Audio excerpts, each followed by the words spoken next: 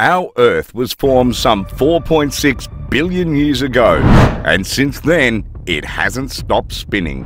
But what if it did? What would happen to us? Would it affect our daily lives? Of course, yes. If the Earth stopped spinning today, we'd be faced with catastrophic circumstances that would cripple all human activity on the planet.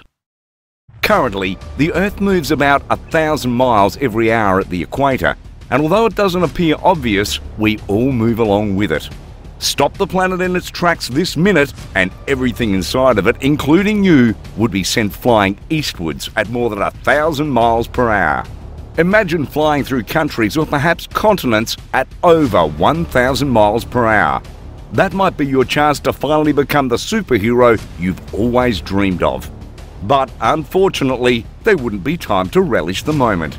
You wouldn't even be able to take a snapshot of your superhero achievement because you will be joined in the air by trees, animals, cars, trucks, skyscrapers, and all sorts of structures. Basically, everything else that sits on the surface of the planet. Ordinarily, the wind should be strong enough to send you flying into space. However, Earth's gravity would still be in place, so thankfully you and all the other flying debris won't be launched into space. If you were at the North or South Poles when the Earth stopped spinning, you might be lost as to what's happening because the angular velocity at these locations is zero, meaning people within this region will still be able to live their normal lives. However, the events that will follow would disrupt the activities in the North and South Poles. In fact, it would be much more disastrous and more frightening than your worst nightmare. Enormous tidal waves, giant storms and flying debris travelling at hypersonic speeds about four times more than the deadliest winds ever experienced on our planet. For perspective, the strongest wind ever recorded on Earth, not including tornadoes, was during Tropical Cyclone Olivia in 1996. It moved at 407 kilometres per hour, 252 miles per hour, and destroyed assets worth $47.5 million at the time, which is worth around $1 billion today. The impact and damage that would be done by this storm would be about four times more than what we witnessed during Tropical Cyclone Olivia. But let's say you somehow develop supernatural powers and become the proverbial cat with nine lives. You may be able to survive this event. However, you'd be faced with more unprecedented events even worse than tidal waves, giant storms and debris flying at over 1,000 miles per hour. After a period of terrorising the planet, the intense winds would eventually subside, but the next phase of suffering will immediately follow. As we all know, the circulating air is deflected clockwise in the northern hemisphere and anti-clockwise in the southern hemisphere, and this creates the Coriolis effect, which dictates the climate conditions and air currents across the planet. All of these will be disrupted if the Earth stopped to spin. So, on one hand, we will be safe from natural disasters like hurricanes and tornadoes. This would do us a lot of good actually, because natural disasters kill an average of 45,000 people every year. And in 2021, the United States lost over $300 billion to natural disasters. However, these losses would be insignificant compared to what will follow next. We'll witness events with serious consequences, worse than the damage that is by hurricanes, tornadoes, or other natural disasters that we experience on Earth today. For instance, all of the world's water bodies will be collected into two large polar oceans, separated by a belt of land. Everything north of Spain would be submerged under salty water, including all of Antarctica. And ocean depths will drop by 8 kilometres at the equator, and a new megacontinent will be formed. Deserts will become tropical regions, and rainforests will become arid.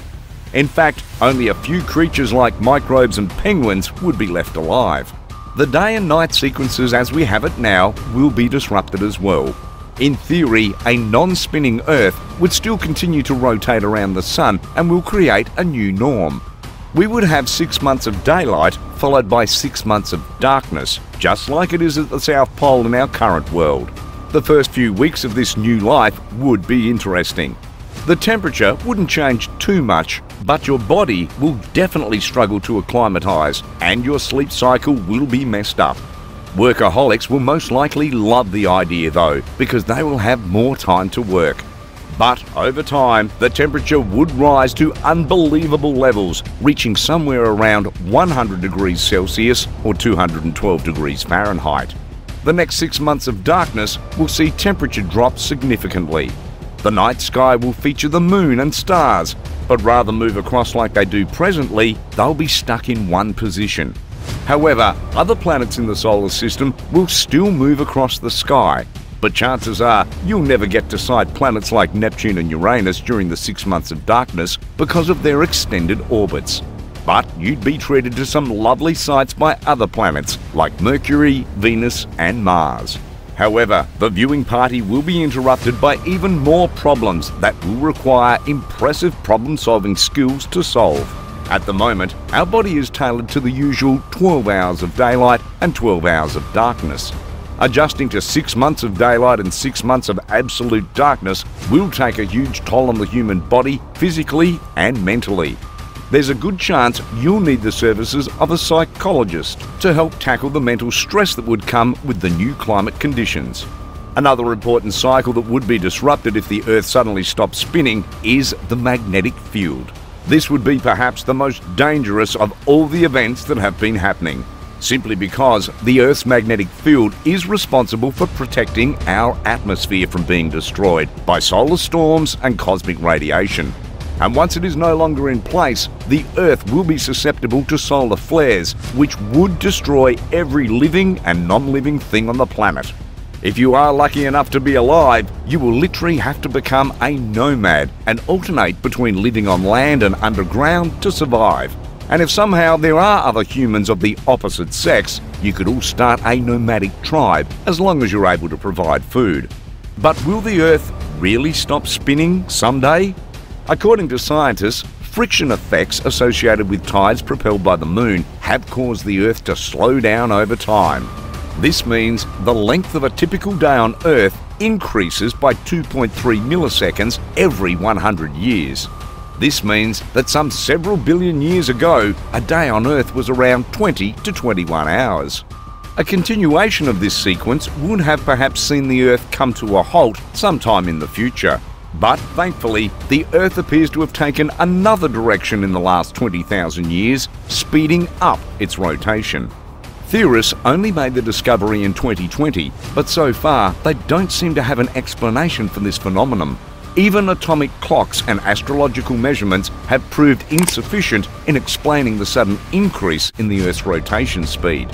But scientists wouldn't care anyway because it only means the Earth is not about to stop spinning anytime soon.